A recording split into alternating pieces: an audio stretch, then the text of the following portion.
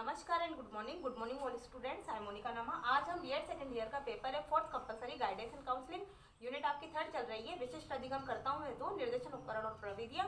और टॉपिक है आपका मंदबुद्धि बालकों का समूह और सब टॉपिक है मंदबुद्धि बालकों की शिक्षा।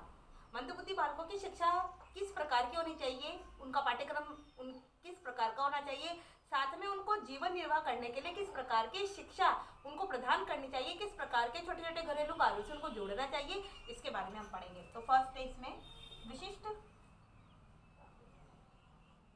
विशिष्ट विद्यालयों विशिष्ट विद्यालयों की स्थापना। विशिष्ट विद्यालयों की स्थापना। यानी कि जो मंदबुद्धि बालक हैं, उन मंदबुद्धि बालकों की शिक्षा के लिए विशिष्ट विद्यालयों की व्यवस्था होनी चाहिए। मंदबुद्धि बालकों की शिक्षा के लिए विशिष्ट विद्यालयों की स्थापना होनी चाहिए, विशिष्ट विद्यालयों की व्यवस्था होनी चाहिए। क्यों होनी चाहिए? क्योंकि मंदबुद्धि बालक जो साधारण कक्षा शिक्षण होता है उस साधारण कक्षा शिक्षण से लाभ प्राप्त नहीं कर पाते हैं। किस प्रकार से? कि जैसे एक अध्यापक एक अध्यापक जब शिक्षण कार्य करवाता है तो शिक्षण कार्य के दौरान उस कक्षा में प्रतिभाशाली बालक भी होते हैं, सामान्य बालक भी होते हैं और मंदबुद्धि बालक भी होते हैं।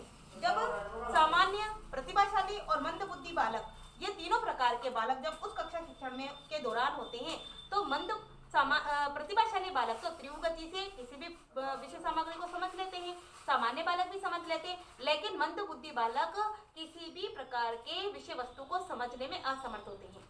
किसी भी प्रकार की विषय वस्तु को समझने में असमर्थ होते हैं, ऐसे में अध्यापक और अन्य विद्यार्थियों का दृष्टिकोण मंद बुद्धि बालकों के प्रति असहानुभूतिपूर्ण हो जाता है। यानी कि जब मंदबुद्धि बालक उस साधारण साधारण कक्षा शिक्षण के दौरान किसी प्रकरण को समझने में असमर्थ होते हैं तो अध्यापक और अन्य विद्यार्थियों का अन्य विद्यार्थियों का जो दृष्टिकोण है जो देखने का नज़रिया है वो मंदबुद्धि बालकों के प्रति सहानुभूतिपूर्ण नहीं होता है असहानुभूतिपूर्ण हो जाता है।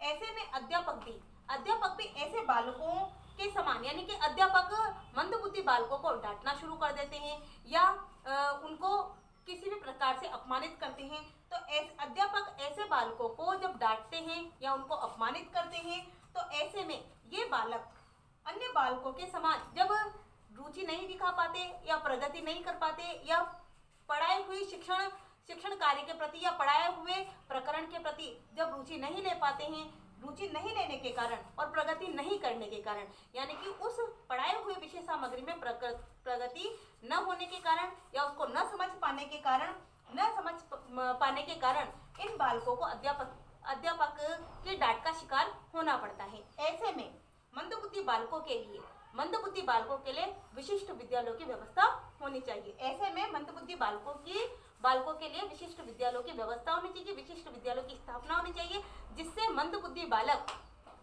मंदबुद्धि बालक उन विशिष्ट विद्यालयों में केवल कक्षा शिक्षण के दौरान 15 से 12 से 15 छात्रों की उपस्थिति में या 12 से 15 छात्रों का एक कक्षा कक्ष हो, उसमें, उस कक्षा कक्ष में वो बालक समझ सके, किसी भी प्रकरण को समझ सके और अपनी समर्थता उसमें दे सके। इसलिए विशिष्ट विद्यालयों की व्यवस्था इन बालकों के लिए होनी चाहिए। सेकंड है सेकंड है पाठ्यक्रम का समायोजन सेकंड है पाठ्यक्रम का